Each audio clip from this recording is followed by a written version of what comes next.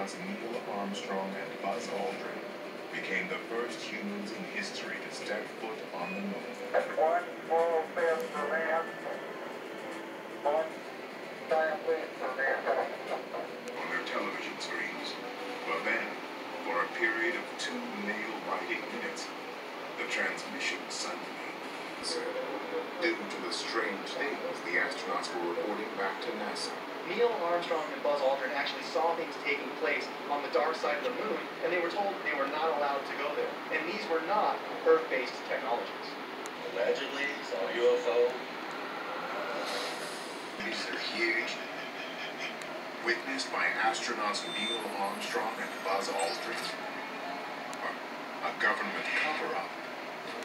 And a book, published just one year earlier, was now flying off store shelves.